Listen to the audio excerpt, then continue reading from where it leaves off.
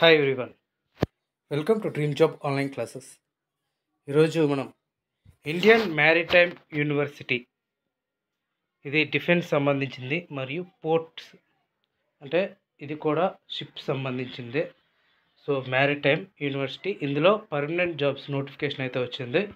ఇది మనం విశాఖపట్నంలో ఉంది అలాగే చెన్నై కోల్కతా టోటల్గా ఉంది. మీకు ఒకవేళ దూరంగా వచ్చినా కూడా మీరు వైజాగ్ అనేది ట్రాన్స్ఫర్ అనేది చేసుకోవచ్చు.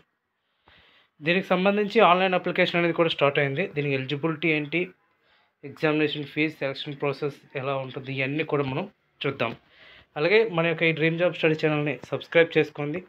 అండ్ మన టెలిగ్రామ్ గ్రూప్లో కూడా జాయిన్ అవ్వండి.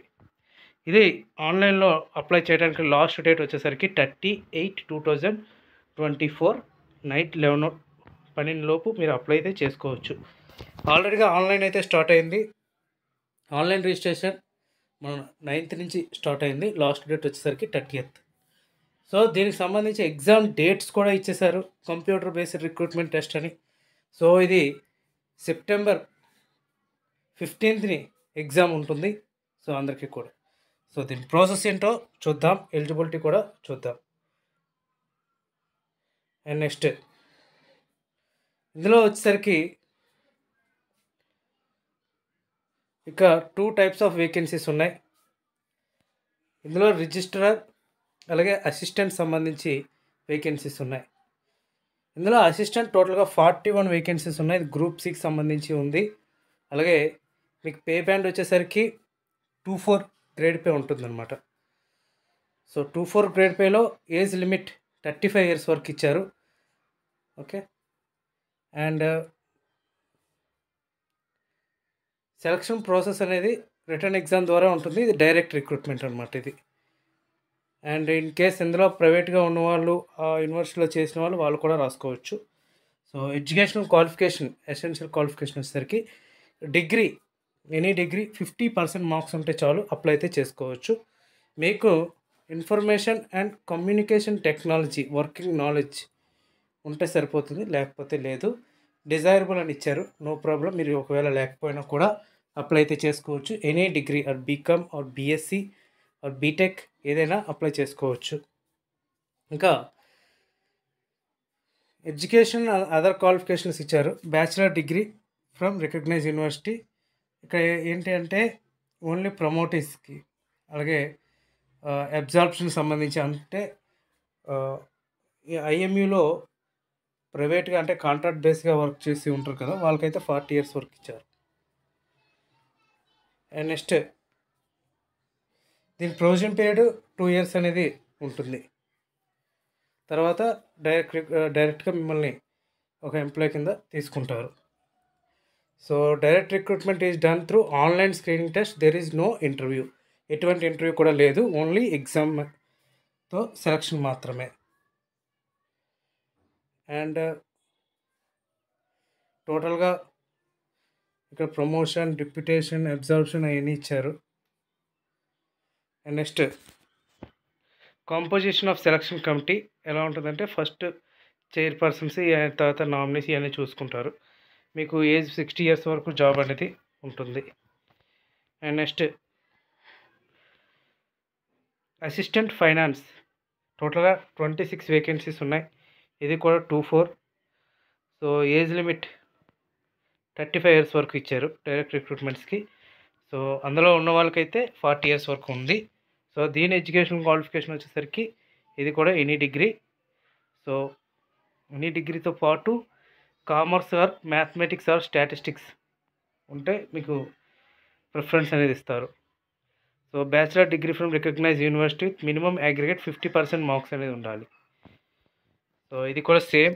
సో మీకు ఇంకో డౌట్ ఏంటంటే రెండు అప్లై చేయొచ్చు అంటే రెండు వేరు వేరుగా అప్లై అయితే చేసుకోవచ్చు. And two years provision period ఉంటుంది.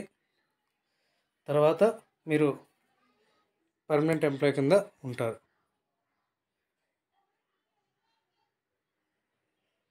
అండ్ నెక్స్ట్ దీని ఎగ్జామినేషన్ ఫీజు వచ్చేసరికి థౌజండ్ రూపీస్ ఎగ్జామినేషన్ ఫీజు అనేది ఉంది.